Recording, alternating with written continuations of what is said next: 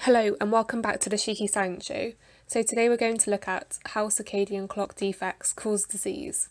So in a previous video I introduced to you the circadian rhythm and I talked about the clock of health and the clock of disease. And I'll put the link to that video in the description. But in this video we'll look at some specific examples that show the correlation of the circadian clock to different diseases. So firstly, we'll look at the link to cancer, and then we'll look at a genetic condition referred to as FASPS. So before I jump straight in, it's important to recap what the three main clocks are.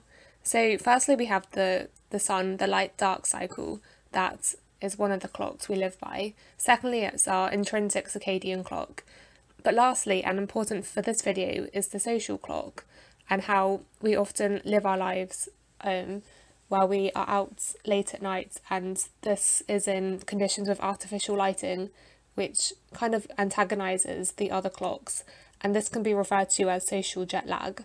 And so to be really crude and to make this sound oversimplified, we can think that if these three clocks are aligned with each other, they are going to be constructive in terms of their interference and so this is also referred to as circadian consonance. However, if these clocks are out of line with each other, they're out of sync, it can cause disease, or that's so, so it's thought to. And this can also be referred to as circadian dissonance. And so in this video, we'll look at a couple of examples that try to understand how and why this might be the case. So first up, we'll look at the link to cancer. So there's a lot of accumulating evidence now that shift workers are more prone to cancer. But why would this be the case? So let's just quickly recap about what the circadian rhythm actually is. So the circadian rhythm includes cycles in behaviour, physiology, metabolism and cell activity that fluctuates on around a 24 hour timescale, hence the name circadian being about a day. So, I guess the issue with shift work is that it goes against what we refer to as being the clock of health. That during different times of the day, different processes are occurring. For example, the secretion of melatonin in the evening that will promote sleep, whereas shift workers are active and working during this time period. But what effect could this have on the body to contribute to increasing their risk for cancer? How could shift work be having an impact? So, a key readout for a healthy circadian clock is gene expression patterns. And so part of gene expression patterns is governed by the epigenetic state of a cell. We touched on this last time, I'll put the link to the description in the video, of how the key clock factors, the transcription factors, that actually regulate gene expression. And so this one study looked at the epigenome of shift workers of females in Denmark, and what they saw was that these shift workers had differences in their epigenetic marks, and this can therefore alter the expression levels of certain genes. So importantly, they noticed differences in the methylation, a form of epigenetic marks, on cancer-related genes. And whilst these are still just correlations, it is important information to try and understand, because potentially we could use this information to cope or to try and alter the disturbances that are caused by shift work. But what about shift work that causes circadian dissonance? So while circadian rhythms are intrinsic to a cell, in multicellular organisms like ourselves, each cell needs to kind of coordinate with each other.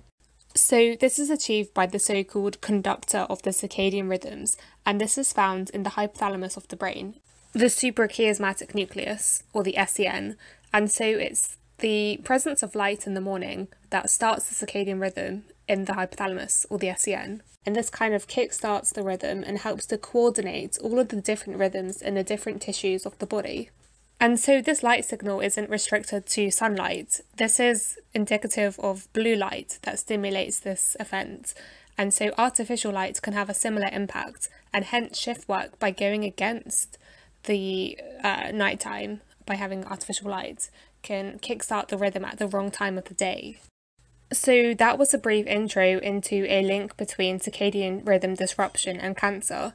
Now we'll look at a genetic condition that is caused by having a defect in the circadian clock.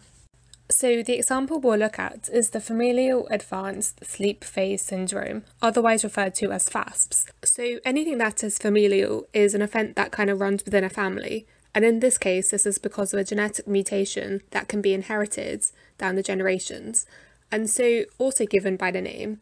FASPS is an advanced sleep phase syndrome. So, what this means is that the circadian rhythm is advancing at a faster rate than what it should normally do. So, whilst the rhythm should be around 24 hours, people who have FASPs have a circadian rhythm that lasts around 22 hours. But how does this happen and why is this the case? So, one of the reasons that FASPs is referred to as a disease is due to the fact that whilst they have an around 22 hour rhythm, everything else, like the sun set and the daily cycle on Earth, is still 24 hours. And so, one of the key events, as we already mentioned, is about sunlight kickstarting the rhythm in the SCN every day. And so, anything that kind of halts or entrains the cycle is referred to as a Zeitgeber. And so, this still event occurs even if people who have FASPs but it's going to have the effect of causing some circadian dissonance. So, what controls the phase length of the circadian rhythm? So, one of the key mechanisms to control the length of the cycle is the transcription translation feedback loop, which we looked at before. And two key proteins in regulating this process are cryptochrome and periods. And it is the regulation of the synthesis and degradation of these proteins that helps to control and maintain the 24 hour rhythm. However, in FASPs, there is a mutation that is commonly seen in the PER2 gene, and this mutation is a serine amino acid that causes it to instead code for a glycine amino acid. And the effect of this mutation results in a loss of a phosphorylation site. And so, phosphorylation of the period protein is important for regulating its degradation. So, by losing this phosphorylation site, the PER protein is degraded in a shorter time period, and this has the impact of advancing the circadian rhythm. So, although the degradation of cryptochrome remains the same, the effect of the phosphorylation change on the period protein has the governing impact of advancing the rate of the circadian rhythm to around 22 hours. So, we have literally scratched the surface on the amount of literature there is on this topic. But if you do want to find out more information, let me know and I can also make some more videos on it. Or you can research it yourself, there's just so much information online about it. But hopefully, this video has given you an introduction, at least, to what is out there and how circadian clock defects can cause disease.